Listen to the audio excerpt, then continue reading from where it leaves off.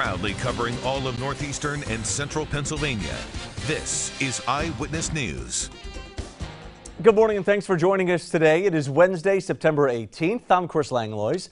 Before we get to your top stories, let's check in with meteorologist Stefano DiPietro. How are things looking today? Well, not all that bad. Plenty of sunshine coming our way as we go through this afternoon. It's just a little bit of a chilly start, but then nice and comfortable by midday. Speaking of midday, lunch hour looks good on Futurecast. Just a few clouds mixing in, but we end up with plenty of sunshine through the entire afternoon. 3, 4, 5 o'clock looking great as well as we're headed home from work. There are no weather issues. The kids have anything going on after school.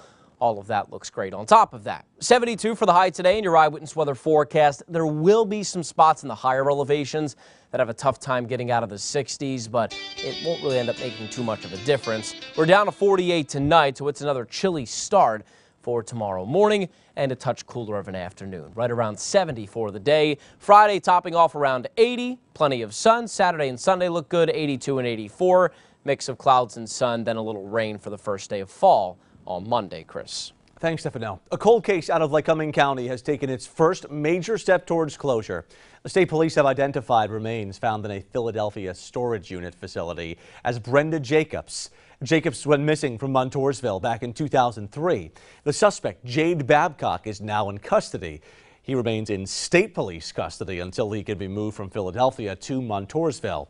State police are working on scheduling an official news conference on the case in Montoursville in the coming days. A four-term Pennsylvania state senator has been charged with possession of child pornography. The state's attorney general announced the charges against Senator Mike Folmer, saying the investigation started after a cyber tip. It said Folmer uploaded a child pornography image using the social networking site. His district includes Lebanon and parts of Dauphin and York counties. Thanks for joining us and have a great day.